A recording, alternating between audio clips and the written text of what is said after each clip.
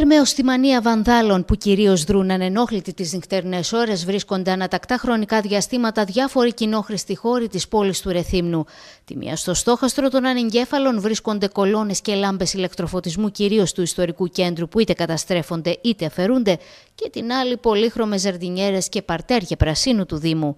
Η σταγόνα που ξεχύλισε το ποτήρι όμως ήταν τα συνθήματα εκυμπογές που έριξαν άγνωστοι στο πλαίσιο μιας διαμαρτυρίας στα Μάρμαρα και στους τοίχου του προσφάτου ανακαινισμένου δημαρχιακού μεγάρου της πόλης. Είναι κακό πράγμα.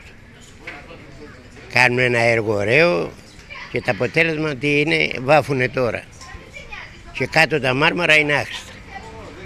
Δεν είναι κακό πράγμα αυτό; Είναι λυπηρό ε, αυτή η εικόνα όταν από, τις, ε, από το σύστημα των δημοτών ουσιαστικά έγινε η ανακαίνιση του Δημαρχείου μας, που είναι βασικό κτίριο στην πόλη, το πόσιμο, να έρχονται κάποιοι άνθρωποι και με αφορμή μια διαμαρτυρία να αναλυώσουν τους τοίχους και να δημιουργήσουν μια άσχημη εικόνα που φυσικά κανείς από το έθνο δεν συμφωνεί και του αρέσει. Η Δημοτική Αρχή που κατ' επανάληψη καυτηριάζει τα κακό κείμενα των ολίγων, πλέον απευθύνει έκκληση προς όλους να σέβονται τη δημόσια περιουσία και γενικά την πόλη που και οι ίδιοι ζουν. Δεν είναι λογική ε, να μπουν κάμερες για να ε, καταγράφουν ποιος βανταλίζει ή να κυνηγάμε αυτούς οι οποίοι έκαναν την πίεση ζημιά. Σημασία έχει να καταλάβουμε όλοι εμείς ότι αυτό το κτίριο είναι το κτίριο το δικό μας, ότι φτιάχνεται από τα δικά μας λεφτά, ότι συντηρείται από τα δικά μας χρήματα, ότι θα φτιάχνεται και θα καθαρίζεται κάθε φορά από δικά μας χρήματα και θα πρέπει να το αγαπάμε και το προσέχουμε.